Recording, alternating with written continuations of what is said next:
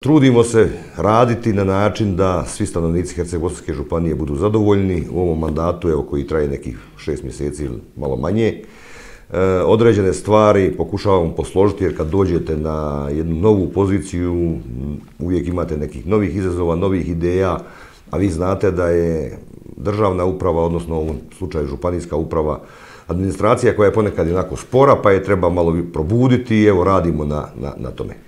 Mislim da Bosna i Hercegovina na način kako je složena Dejtonskim mirovnim sporazumom, odnosno sporazumom o miru, potpisanom od onih koji su ga potpisali, je napravljena na način da imamo dva entiteta, tri konstitutivna naroda, deset županija, distrikt Brčko i neki će reći previše toga. E, ovisi kako se uzme. Dok se mi ne dogovorimo o nekom drugom uređenju, mislim da nam je živjeti po ovome. A ako nam je živjeti po ovome, onda Županija ima svoju zakonodavnu izvršnu sudsku vlast, Županija ima svoje ingerencije i Županija treba biti na zadovoljstvo njihovih stanovnika, počevši od stanovnika Županije, a onda federacije na kraju države. Trebamo imati uvezano vertikalu i suradnju po svim osnovama od državnog nivoa do nivoa lokalne samuprave, odnosno mjesne zajednice, da ne govorim općine ili grada. Da ima mogućnost i ovo što vi kažete, što bi uradio? Pa teško je promatrati bilo koji nivo vlasti izolirano od drugih. Zakonska rješenja se ponekad isprotleću i onemogućavaju nam određene razvoje. Mi smo na zadnjoj sjednici Županijske skupštine imali strategiju razvoja Herceg-Bosanske županije u nacrtu. Ićemo u prijedlogu i nekoliko zakonskih rješenja koje bi izvorno postavile stvar na nivou da županija može uređivati e, život, bi se svakako odnosilo, ali to opet ovisi o globalnim prilikama, a vi ste spomenuli u uvodu ljepote koje imamo, a to je turistički potencijal. Ovdje mi nikad nismo imali pretjerano veliku industriju, ni u vrijeme bivše države, neki drugi krajevi su bili industrijski razvijeniji, ali mi u Županiji Herceg-Bosanskoj svoju komparativnu prednost vidimo u dijelu netaknute, čiste, zdrave prirode, proizvodnja hrane, stočarstvo i poljoprivreda kao takva i ono što je sada trend u svijetu obnovljivi izvori energije, evo rekli ste sami da ste jako se ugodno osjećali na friškom zraku, na buri koja puše vani i na svem onome što može donijeti dodatan izvor prihoda kako županiji, tako i lokalnim zajednicama koje funkcioniraju na nivou ove županije. Tu je e, i bogatstvo šumom, odnosno drvoprerađivačka industrija, I naravno da je važno ići u smjeru finalizacije određenih proizvoda i svemu onome što mi na poslujući po tržišnom gospodarstvu kako sada živimo, očekujemo da e, ljudi koji sad se bave drvoprerađivačkom industrijom idu i korak dalje u odnosu na samo ono globalno pilanje ili rezanje. Dva vjetropolja koja su napravljena na području općine Tomislavgrad, jedno gravitira po granici općine Tomislavgrad i granici e, grada Livna.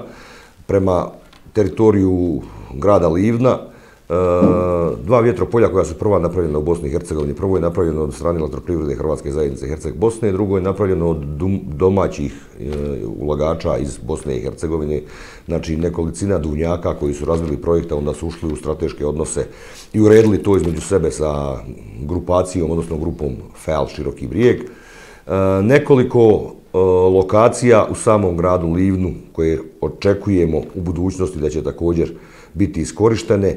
To je nešto što možemo računati da nas čekuje u budućnosti, naravno sukladno zakonskoj regulativi. Da bi se jedno vjetropolje napravilo, treba jako puno vremena.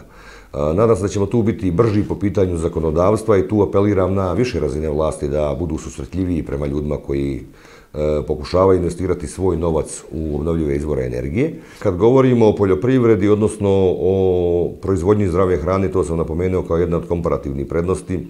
Mi tu imamo polja koja ste nabrojali, su pretežno kraška područja, ali kraš, kraška polja.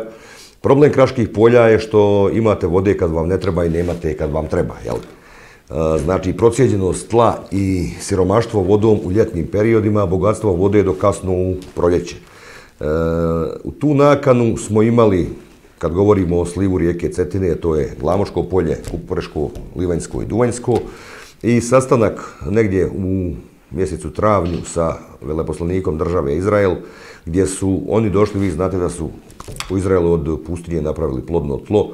Ja se ono, zaznao s njima u razgovor, rekao sam, evo, vi ste od pustinje napravili plodno tlo, mi od plodnog tla pravimo pustinju. E, jako zanimljiv susret i razgovor je bio i postoji mogućnost e, ozbiljnijih investicija u dijelu poticanja poljoprivredne proizvodnje. To će vidjeti ljudi koji su pokupili sve one informacije koji su im trebali. Široki sastanak je bio sa načelnicima, gradonačelnikom pripadajućih općina. Buško jezero ima svoj potencijal.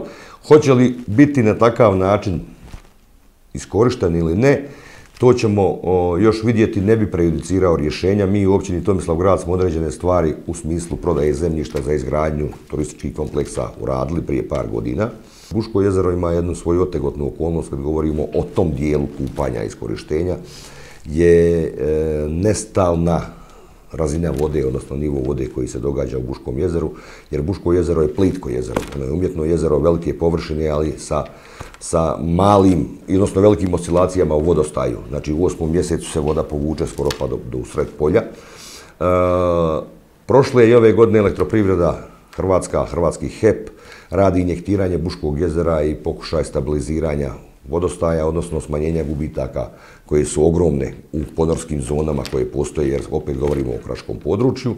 I ono što treba još naglasiti je da je Buško jezero zaleđe Dalmacije. Zašto se kupati na Buškom jezeru? Ja mislim da na Buškom jezeru treba treba se osvježiti, spavati, šetati uz vodu, iskoristiti ribogojilišta ili neke druge potencijale, a kupati se na bijelom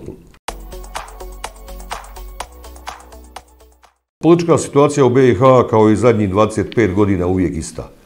E, pričamo o drugačijem uređenju Bosne i Hercegovine. Ja se iskreno nadam da će doći do izmjene izbornog zakona. Mislim da osnovni preduvjeti za iskorištenje svih ovih kapaciteta i potencijala kojima smo mi pričali je politička stabilnost koja treba biti u jednoj državi.